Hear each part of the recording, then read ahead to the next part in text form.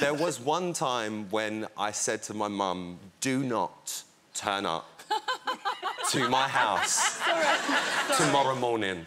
Right. Do not come round. She lets herself in. I've got a fingerprint door. Has she cut off your finger to get into the house? I've categorically told her, do not come round. I wasn't alone the following morning.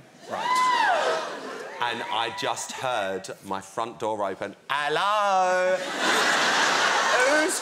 Who's that? And that was it. Whose I- car's that? You broke into a cinch advert in the middle of it. like, always working. Always working.